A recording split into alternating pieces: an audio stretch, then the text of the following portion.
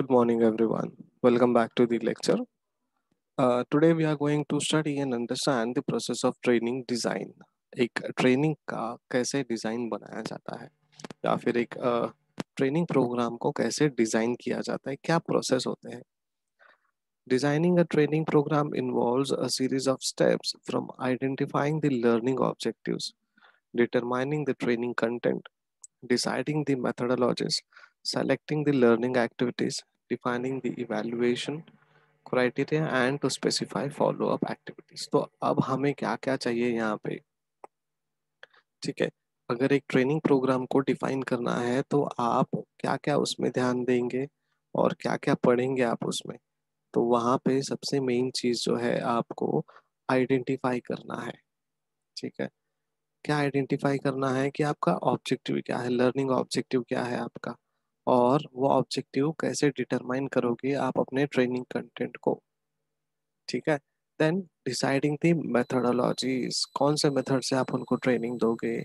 फिर selecting the learning activities learning activity select करना है। देखिए आइडेंटिफाई किया आपने ऑब्जेक्टिव्स को लर्निंग ऑब्जेक्टिव्स को। फिर उसके साथ डिटरमाइन किया ट्रेनिंग का क्या कंटेंट होगा। फिर वो कंटेंट कैसे पढ़ाया जाएगा? और लर्निंग एक्टिविटीज़ क्या क्या करेंगे? ऑब्जेक्टिव और एक्टिविटी दोनों अलग अलग है। ऑब्जेक्टिव थियोरेटिकली डिफाइन करना एक्टिविटी आप कैसे वो प्रेजेंट करोगे, आप पढ़ाओगे, वो है। Then defining evaluation criteria evaluation मतलब असेसमेंट क्राइटेरिया असेसमेंट कैसे होता है आपका, वो डिफाइन करना है कि अगर आपने एक ट्रेनिंग सेशन लिया तो आपका असेसमेंट किस तरीके से होना चाहिए, वो इवेल्युएशन है। Then criteria and to specify follow up activities follow up activities आप कैसे लेंगे वो हमें स्पेसिफाई करना है। ठीक है?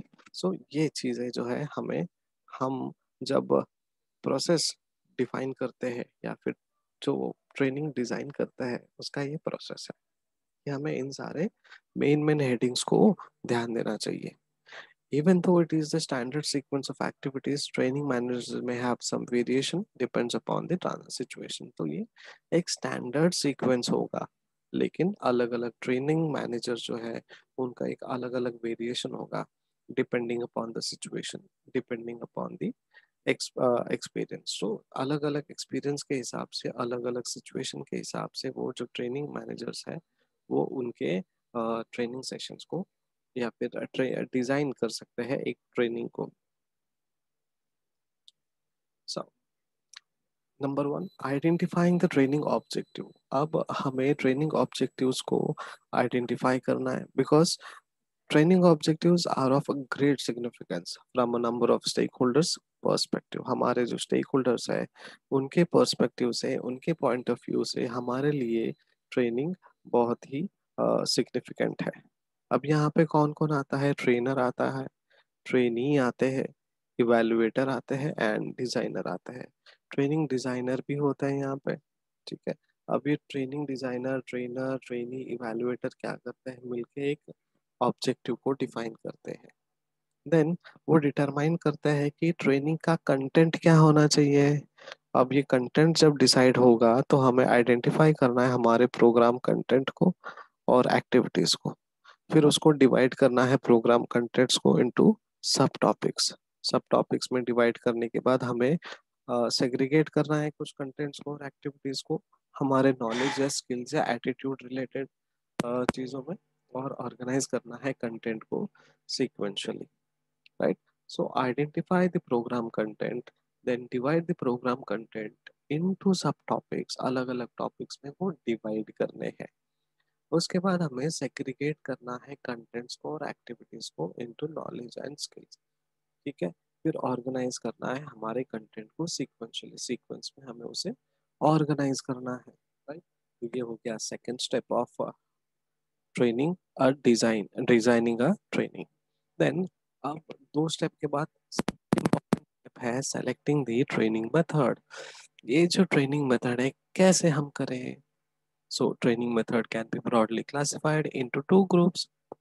Number one, on the job approach or off the job approach. On job approach में या फिर ऑन जॉब ट्रेनिंग में हमने क्या सीखा जैसे कि जॉब इंस्ट्रक्शन ट्रेनिंग होता है जॉब रोटेशन कोचिंग मेंटरिंग वो है on job approach off job approach में जैसे कि क्लासरूम ट्रेनिंग हो गया सेमिनार हो गया वर्कशॉप हो गया तो आपको किस तरीके से ये सेशन कंडक्ट करना है किस तरीके से आपको अपने क्लासरूम में या फिर अपने वर्क लोकेशन में आपको ये ट्रेनिंग देना है, ये डिज़ाइनर डिसाइड करेगा as per the content as per the requirement of particular training अब आइडेंटिफाई करना है हमें learning activities and developing lesson plan अब एक्टिविटीज़ डिसाइड करना है कि सेशन तो हम ले रहे हैं, लेकिन इसमें कोई बोर हो गया तो? इसमें ऐसा कोई कंटेंट ना हो जो इररिलेवेंट uh, है राइट तो वो एक्टिविटीज़ को हमें ध्यान देना है। So there are some basic rules for developing lesson plan lesson plan को डेवलप करने के लिए कुछ बेसिक रूल्स है। There should be proper sequencing of learning ठीक है? लर्निंग का एक प्रॉपर सीक्वेंसिंग होना चाहिए।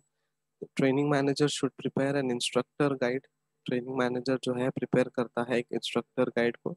और training manager should ensure that the morning sessions are used for difficult topics subjects to proper sequencing तो जब दिन की शुरुआत होती है तो डिफ़िकल्ट टॉपिक से शुरू करें, ठीक है? ताकि फ्रेश माइंड के साथ वो एक स्ट्रॉन्ग कंटेंट को स्ट्रॉन्ग सब्जेक्ट्स को पढ़े एंड देन धीरे धीरे जैसे जैसे शाम होते रहता है, उनका जो लेवल ऑफ़ डिफिकल्टीज है, वो ईज करे बिकॉज़ मेंटली फिजिकली टायर्ड होने के चांसेस है। तो साइकोलॉजिकल और डेमोग्राफिक इन सारे पॉइंट ऑफ़ व्यू को ध्यान में रखना ज़रूरी है। सो so, हमें एक्टिविटीज़ को और लेसन प्लान को डेवलप करना ज़रूरी है इस तरीके से।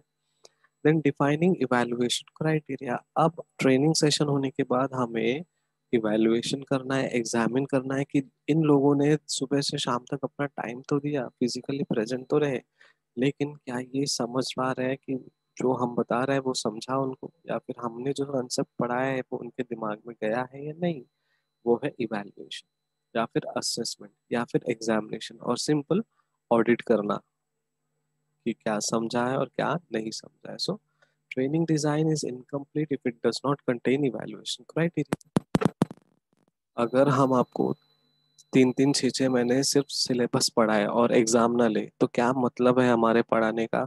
और क्या मतलब है आपके पढ़ने का जब ऐसे ही पास होना है तो।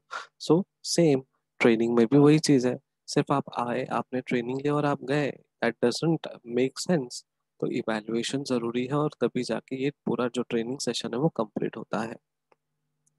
Objectives of the evaluation are to see how far the training program was effective enough in meeting the training objectives ये देखना है कि ये जो ट्रेनिंग है कितना इफ़ेक्टिव था। हमारे ट्रेनर्स की तरफ़ से और हमारे ट्रेनी के लिए।